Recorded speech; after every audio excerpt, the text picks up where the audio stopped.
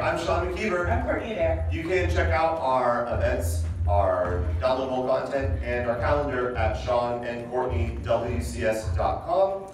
This is our combination for our last class here at Seattle Easter Swing 2019. On Saturday, we talked about contemporary styling, and in particular, using a little bit of a chasse action or lilt, and also using the idea of sharing weight to be able to push our feet out from underneath us to create a little rhythm variation. Really fun and floaty. First one was from a sugar push. We went on an angle for two. We hooked behind three and four, and then we used the chasse, pushing off the back foot to kind of gather in the middle, boop, and then we anchor it by settling away, uh, keeping our center behind our front foot.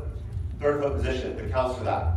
One, two, three, and four, and a five, six. We went into a tuck from here, basic tuck, but leading it contra body. So leaders, I'm not gonna reset Courtney's shoulders twice. She's already where she needs to go. So I'm gonna keep the hands going in that direction, that arc.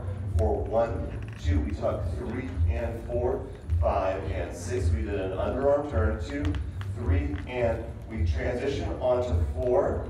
We gather in, and we're pushing the foot out. Uh, and now we're gonna roll the body. Five, and we anchor six by gathering that foot in. It's a one, two, three, a four, a five, a six. That was our underarm turn with a French anchor. Two, three, and four, a five, and a six. That was everything we worked on today. Thank you so much for joining us. We'll see you next time. Bye.